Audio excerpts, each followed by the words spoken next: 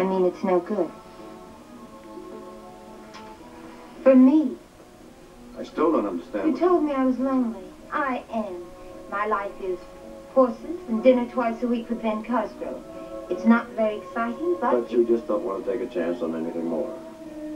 Not with you. Look, you spend 24 hours a day on medicine, and you go through the motions of a marriage. Uh-uh. You haven't got time for me. And why did you ask me up here?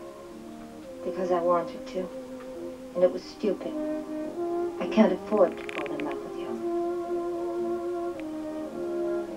Well, you're lucky you can turn it on and off like that.